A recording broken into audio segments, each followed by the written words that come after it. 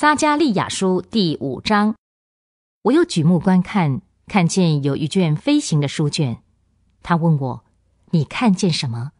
我回答：“我看见一卷飞行的书卷，长十公尺，宽五公尺。”他对我说：“这是向全地发出的咒诅，凡偷盗的，必照着书卷这面所写的被清除。”凡起假誓的，必照着那面所记的被清除。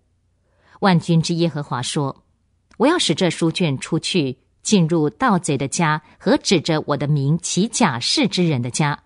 这书卷必留在他的家中，要把他家里的木料和石头都毁灭。”这是万军之耶和华说的。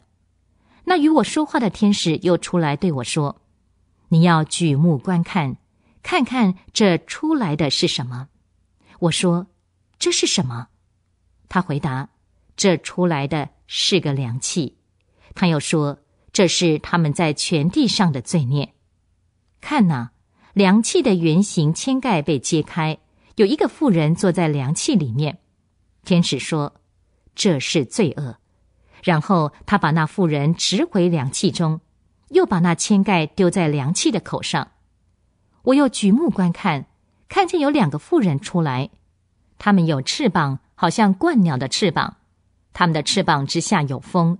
他们把那凉气抬起，抬到天地之间。我问那与我说话的天使：“他们要把凉气带到哪里去呢？”他回答我：“要在士拿地为那凉气建造房子，房子预备好了，就在那里把它安放在他自己的地方。”